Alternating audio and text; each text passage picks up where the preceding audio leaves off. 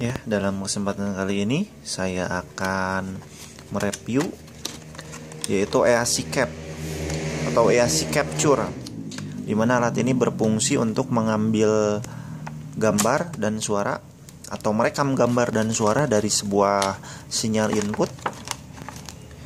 Inputnya melalui input sinyal video komposit ataupun S-video dengan audio stereo LR dan yang kuning video input komposit dan yang ini yang hitam S video.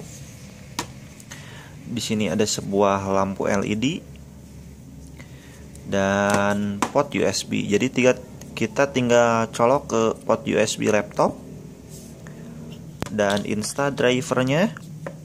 Setelah itu hubungkan input video warna kuning dan audio. Setelah itu kita bisa mengambil gambar dan merekamnya dengan pilihan beberapa format